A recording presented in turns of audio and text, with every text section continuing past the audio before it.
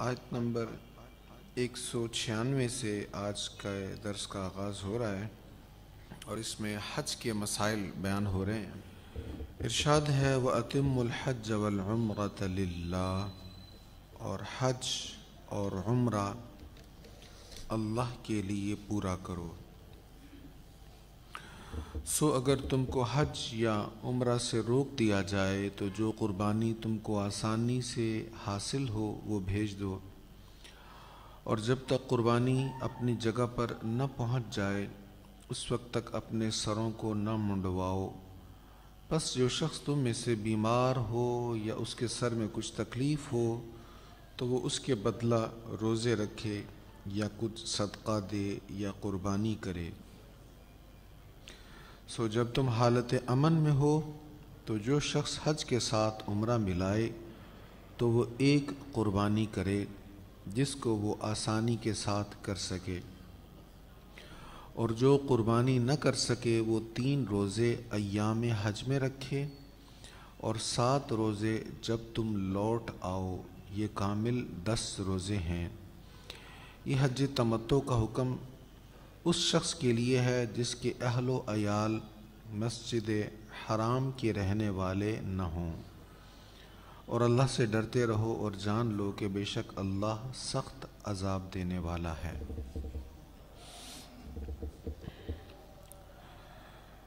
सुबहान अल्लाह बड़े खुश नसीब लोग होते हैं जिनको अल्लाह के घर की ज़्यारत नसीब होती है। जिनको मक्का मुआज़मा मदीना तय्यबा में, वहाँ की फ़िज़ाओं में सांस लेने का मौका मिलता है। जो लब्बैक, अल्लाहुम्मा लब्बैक की सदाएँ बुलंद करते जाते हैं, अल्लाह हम सब के हिस्से में लिखते, हमें बार बार वहाँ की बाअदब हाज़री नसीब फरमाए। देखिए, इबादत जितनी भी हैं, उन इबादत को अल्लाह की रज़ा के लिए करना चाहिए। शुरू में हुक्म यहाँ पर यह हुआ है, व अतिमहज वमरतल्ला और हज और उम्र को अल्लाह के लिए पूरा करो। पूरा करना अतिम तमाम से है और तमाम का लफ्ज़ हमारे यहाँ भी बोला जाता है उर्दू में कि हज भी पूरा करो, उम्र भी पूरा करो, किस लिए? अल्लाह के लिए। हमारे बहुत सारे मामलात, हालाँकि हमारे मजहबी मामलात होते हैं, हम उनको निभाते हैं, खूब बेहतरीन, हसीन करके पूरा करते हैं। लेकिन बसा अवकात हमारी नीयत अल्लाह के लिए नहीं होती। अलामा सईदी साहब रहमान ने इस पर बड़ा तबसरा किया है। वो कहते हैं, देखो, जब ईद का मौका होता है तो मसाजिद भर जाती हैं, मैदान भर जाते हैं नमाज़ ईद के लिए। हालाँकि ये तो वाजिब थी। और नमाज़ पंचगाना फ़र्ज़ है। उसके लिए मसाजिद क्यों नहीं भरती? अच्छा जनाजा है तो जनाजगा भर जाती है। हालाँकि वो फ़र्ज़ किफ़ाया था और नमाज़ तो फ़र्ज़ ऐन है। तो इसका नतीजा क्या है? वो कहते हैं इसका नतीजा ये है कि हमने अल्लाह के लिए नहीं किया था काम। या अल्लाह के लिए नहीं कर रहे। तो ज़माना जाहिलियत में भी हज होता था, कबल अज इस्लाम भी हज होता था। बहुत अहतमाम होता और दूर दराज से लोग आते, बड़े काफ़िले आते, काफ़िलों के काफ़िले आते वहाँ पर। और उसका इतना अहतमाम होता था कि मुश्किन मक्का और वहाँ के लोग, जो अरब के लोग थे, उन्होंने चार महीनों को मुक़दस महीने करार दिया हुआ था, जैसा कि आप पहले सुन चुके हैं। ज़िक़ात, ज़िलहज, मुहर्रम, तीन महीने ये। इन महीनों का वो एहतराम करते थे, इनमें झगड़ते नहीं थे। इसलिए कि हुजाज आ रहे हैं हज करने के लिए। ज़िक़ात में भी आ रहे होते थे और कुछ जिलहज में आ जाते थे। और फिर वापसी जो है, वो मुहर्रम में होती थी। तो कहते ये जो लोग आ रहे हैं हज करने के लिए इनको कोई तकलीफ़ ना हो, लिहाजा आपस की जितनी भी लड़ाई हैं, उनको रोक देते थे। तो बड़ा अहतमाम होता था। फिर हजाज कराम के लिए खानों का अहतमाम उनके लिए पानी का अहतमाम और बड़ा फ़ख्र करते थे ये मशरकिन कि हम उनको पानी पिलाते हैं, उनके लिए हम अहतमाम करते हैं, उनको रिहाइश देते हैं। तो सब कुछ होता था, लेकिन अल्लाह के लिए नहीं होता था। अल्लाह की रज़ा के लिए नहीं होता था। वहाँ पर शुरा आते अपने शायरी, अपने कसीदे, अपने कलाम सुनाते दाद समेटते, वाह वाह होती। इसी तरह वो उनके ख़तीब भी होते थे अरब के लोगों के। वो अपनी धाक बिठाते, लतीफ़े भी सुनाए जाते। बस वो एक मेला होता था। एक मेला लगता था, उसमें बहुत बड़ी तजारत होती थी। कुछ इलाकों के लोग माल ले आते थे, कुछ इलाकों के लोग माल ले जाते थे वहाँ पे, वहाँ से ख़रीद कर। तो एक फेस्टिवल होता था। इसलिए यहाँ पर फरमाया कि तुम हज करो, पहले भी करते थे, लेकिन डिफरेंस होना चाहिए, फ़र्क होना चाहिए। पहले तुम करते थे अपनी तजारत के लिए इन्जॉयमेंट के लिए। अब मेला के तौर पर होता था सारा सिस्टम लेकिन अब तुमने इसको अल्लाह की रज़ा के लिए करना है। हमारे यहाँ आज भी ऐसा कुछ माहौल है। हज पर जाना हो, उम्र पर जाना हो तो जो गैर ज़रूरी चीज़ें हैं, वो हमारे जेर गौर रहती हैं। गैर ज़रूरी चीज़ें या जिन, कुछ चीज़ों की इजाज़त भी है वही हमारे जेर गौर रहती। ये नहीं जेर गौर रहता कैसे रब को मनाना है। क्या क्या गुनाह हुए हैं क्या क्या ख़ताएँ हुई हैं। इसलिए यहाँ पर हज के मसाइल के आगाज़ में पहली बात ये हुई लिल्ला ये अल्लाह के लिए करना है। अल्लाह के लिए हज होगा इन हाजी वहाँ से पलट कर आएगा तो चेंज हो जाएगा। सब कुछ तब्दील हो जाएगा अंदर से। अल्लाह के लिए उम्र होगा तो तब्दीली अंदर आ जाएगी। दिल की दुनिया बदल जाएगी इन अल्लाह हमें तोफ़ी अता फरमाए। तो पहली बात यहाँ ये बयान हुई, हज और उम्र को अल्लाह के लिए पूरा करो। इससे आगे एक मसला बयान हुआ, अगर तुमको हज या उम्र से रोक दिया जाए तो जो कुर्बानी तुमको आसानी से हासिल हो, वो भेज दो। और जब तक कुर्बानी अपनी जगह न पहुँच जाए, उस वक्त तक अपने सरों को न मुंडवाओ। इसका मतलब ये है, एक शख्स ने एहराम बाँध लिया हज का। हरम की तरफ़ चल पड़ा। रास्ते में कोई रुकावट आ गई। कोई मसला बन गया, खुदा न खासा कोई हादसा पेश आ गया, बॉर्डर बंद था, या रोक दिया गया किसी वजह से, उसको आगे न जाने दिया गया। अपना जिस्मानी आर्जा था ऐसा, खुदा न खासा कि अब सफ़र कर ही नहीं सकता, आगे जा ही नहीं सकता। या हुकूमत ने रोक दिया आगे, जहाँ बॉर्डर था, जहाँ से गुजरना था। इमिग्रेशन का कोई मसला बन गया, खुदा न खास्ता। तो फिर अब क्या है? अब उसके ज़िम्मा ये है कि उसने एक क़ुरबानी हरम में भेजनी है। भेज दे या पैसे भेज दे या वहाँ पर किसी को कह दे कि मेरी तरफ़ से वहाँ पर बतौर फ़िदिया एक क़ुरबानी कर दी जाए। अब ये एहराम बांधे रखेगा, एहराम नहीं खोलेगा। अगरचे वापस आ गया है, लेकिन एहराम बांधे रखेगा। तो जैसे ही हरम में, हरम के करीब जहाँ कुर्बानी की जाती, वहाँ पर कुर्बानी इसके नाम की हो गई, अब ये एहराम उतार देगा। अब एहराम की पाबंदियों से ये आज़ाद हो जाएगा। तो हज जो करने के लिए गया था, वो हज तो अब नहीं हो सका इसका। तो अब ये है कि आइंदा साल ये जो हज करने जा रहा था, इस हज की वो कज़ा करेगा। आइंदा साल वो इस हज की कज़ा करेगा। खुदा नखास्ता अगर इजाज़त नहीं मिल रही, वीज़ा नहीं मिल रहा, कोई मामला है तो जब मौका मिलेगा, वो उसकी कज़ा करेगा। अगर आइंदा साल कर सकता हो तो फिर आइंदा साल ही उसको कज़ा करनी चाहिए। तो एक मसला यहाँ पर यह बयान हुआ। समझ गए इस मसले को? कि बंदा हाजी था, उम्र कर लिया, सारे इंतज़ाम मुकम्मल हैं। उम्र नहीं किया, एहराम बाँध लिया। एहराम बाँध लिया, वीज़ा मिल गया, सब कुछ मुकम्मल। अब एहराम बाँध कर वो पाबंद हो गया, जो एहराम की पाबंदी हैं। लेकिन रास्ते में कोई रुकावट आ गई। तो अब वापस पलट आए, लेकिन एहराम नहीं खोलेगा। जब कुर्बानी हो जाए, उसकी तरफ़ से हरम में, जहाँ पर कुर्बानी की जाती है बतौर फ़िदिया तो फिर यह अपना एहराम खोल देगा। और पाबंदियों से आज़ाद हो जाएगा। आइंदा साल फिर ये, जब भी मौका मिले, जल्द अज जल्द ये हज करेगा, ये उस पर कज़ा है। इससे आगे मसला ये बयान हो रहा है, फ़मन का नमिन को मरीदन अव भी अदम रसी। बस जो शख्स तुम में से बीमार हो या उसके सर में कुछ तकलीफ़ हो तो वो उसके बदले रोज़ा रखे या कुछ सदका दे या कुर्बानी करे। अब जब एहराम बाँध लिया जाता है हज के लिए, अब बाल ना काट सकते हैं, ना मुंडवा सकते हैं, ये तो पाबंदी है। लेकिन अगर खुदा न खास्ता किसी के सर में कोई तकलीफ़ बन गई, कोई ज़ख़म आ गया, अब बालों का काटना ज़रूरी है। या खुदा न खासा सर में जुएँ वगैरह पड़ गई।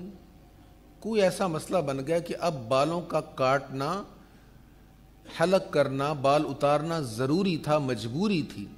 मरीज़, मरीज़ है ना, मर्ज़ है। अब मर्ज़ को तूल तो नहीं दिया जा सकता। अब डॉक्टर कह रहा है, तबीब कह रहा है कि फ़ौरन बालों को उतारा जाए। और एहराम की हालत में बालों को उतार नहीं सकते।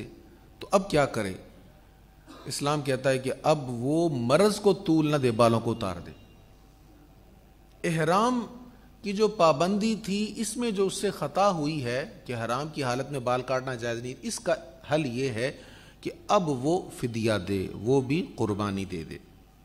फ़िद यतुम मिन सियामिन और सदक़तिन और नुसुक तो वो उसके बदला में रोज़े रखे या सदका दे या कुर्बानी करे तो रोज़े कितने हैं तीन रोज़े रखने हैं कुर्बानी कर सकता हो तो ये सबसे बेहतर है उसकी तरफ़ से कुर्बानी की जाए अगर कुर्बानी नहीं कर सकता तो फिर वो सदका भी दे सकता है जो फ़ितरा है फ़ितरे की जो म्याद मुकर की गई फ़ुकहा ने और अगर वो नहीं कर सकता तो फिर तीन रोज़े वो रखेगा।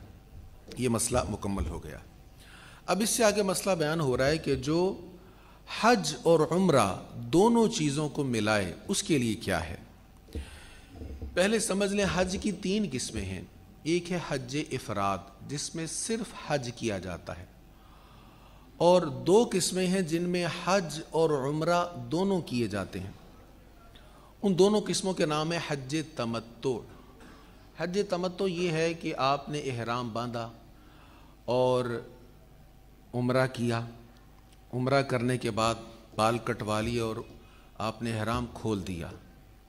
और फिर अयाम हज आए, आप हरम में ही हैं, मक्का शरीफ में ही हैं। फिर अयाम हज आए तो फिर आपने हज के लिए अब एहराम बाँध लिया।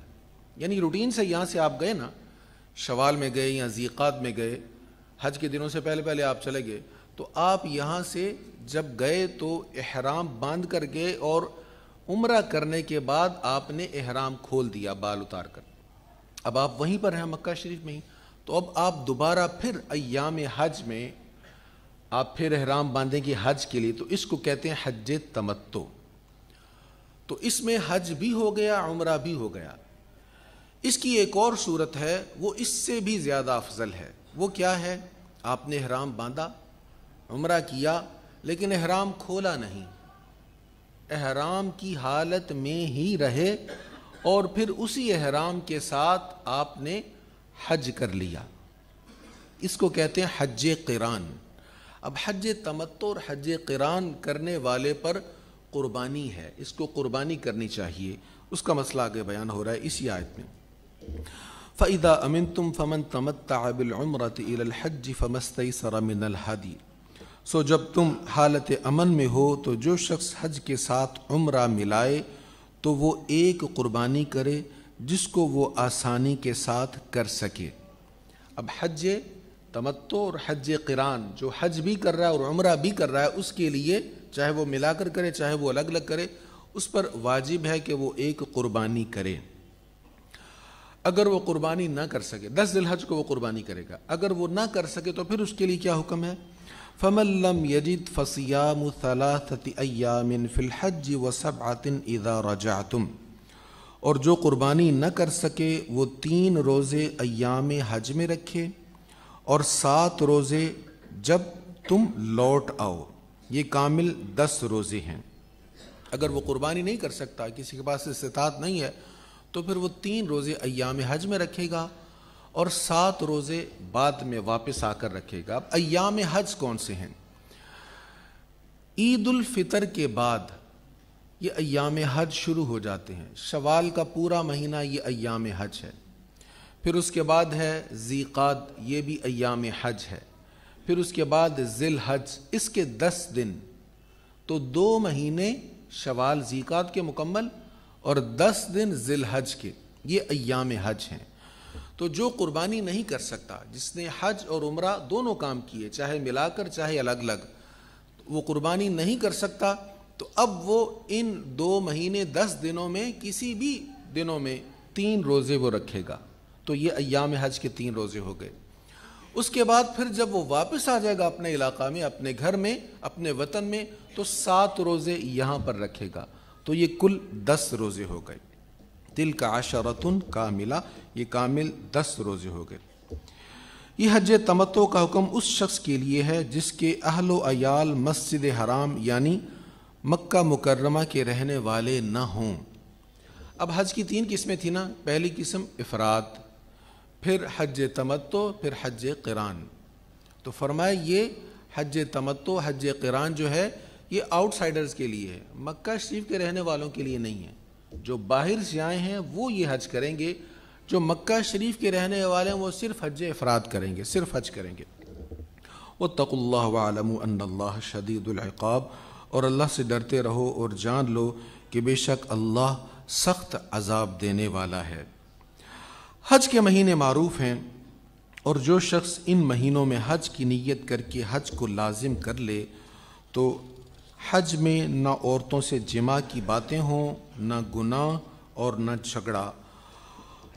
और तुम में जो नेकी करते हों, उसका अल्लाह को इल्म है और सफ़र ख़र्च तैयार करो और बेहतरीन सफ़र ख़र्च तकवा, यानी सवाल से रुकना है। और ए अक़ल वालो, मुझ ही से डरते रहो। ये दूसरा रुकू शुरू हो रहा है, लेकिन ये भी अयाम मसाइल हज के मुतालिक है। यहाँ पर यह बयान हो रहा है कि जब एहराम बाँध लिया, झगड़ा तो वैसे भी जायज़ नहीं है। तो अब एहराम बाँध कर क्या झगड़ा करना? अब अल्लाह से गुना बख्शवाने जा रहे हैं, अब छोटी छोटी बातों पर क्या झगड़ना? इमिग्रेशन वालों ने ये कर दिया, फूला ने ये कर दिया, ये होटल वाउचर में कुछ था, ये था। अपना हक ले सकते हैं, लेकिन एतदाल में रहकर। बहुत सारे मामला हो जाते हैं, लेकिन हर चीज़ में अपने एतदाल में रहते हुए झगड़े की इजाज़त नहीं है। एहराम हमने बांधा है ना, होटल वाले ने तो नहीं बांधा, वो कंपनी वाले ने तो नहीं बांधा ना। तो वो अगर नहीं ख्याल कर रहा दुयूफुल्लाह का, मेहमानों का तो हमने तो ख्याल करना ना जिसने हराम बांधा है। तो हालत सफ़र में आम तौर पर चूँकि इंसान सफ़र में होता है, अपने वतन में नहीं होता, बहुत सारी सहूलियात उसको मैसर नहीं होती जो अपने वतन में होती। तो थोड़ी सी भी तकलीफ़ गरां गुजरती है। सफ़र की तलखी भी होती है, थकावट भी होती है। लेकिन ये जहन में रहे कि हमने हराम बांधा हुआ है। अगर इन्होंने हमारा हक मारा है तो हमने अहकमुल हाकिमीन के कितने अहकाम को नज़रअंदाज किया, कितना उसको नाराज़ किया। तो ऐसे में अगर कोई तकलीफ़ आए तो वहाँ भी सर झुका के रब को याद करना चाहिए। अल्लाह हमें तोफ़ीक दे। तो एक तो झगड़े की इजाज़त नहीं है। दूसरा, रफस। कोई भी ऐसी बात जिसमें फोहश ज़िक्र हो, अपनी बीवी से भी जायज़ नहीं है। अयाम हज में जब हराम बाँध लिया तो ऐसी गुफ्तगु जमा के मुतक़ात की गुफ्तगु करना भी जायज़ नहीं है। और फिर यहाँ पर यह मसला भी बयान हुआ कि जो भी हज करने के लिए जाए, वो ज़्यादा राह ले कर जाए। जो ज़रूरियात हैं उसकी जिसके पास हैं, वो जाए। जिसके पास ज़रूरियात वहाँ की पूरी करने के लिए इसबाब नहीं है, उसको जाने की ज़रूरत नहीं है, वो ना जाए। हाजी को ये जेब नहीं देता मोतमिर को ये जेब नहीं देता कि अल्लाह की बारगाह में जाओ और वहाँ से लोगों से माँगता फिर। भाई, अल्लाह से लेने जा रहे हो, यहाँ भी लोगों से ही मांगना है। तो अल्लाह की बारगाह में जा रहे हैं, इसलिए ज़्यादा राह साथ लेकर जाएँ। तो जो ज़ाहिरी ज़रूरियात हैं, उनको भी पूरा करें, ये भी ज़्यादा राह बनाएँ। और बेहतरीन ज़्यादा राह क्या है? तकवा। परहेजगारी भी अपने साथ होनी चाहिए। अल्लाह तौफीक नसीब फरमाए। वाखिर दावा अलहमदिल्ला रबालमीन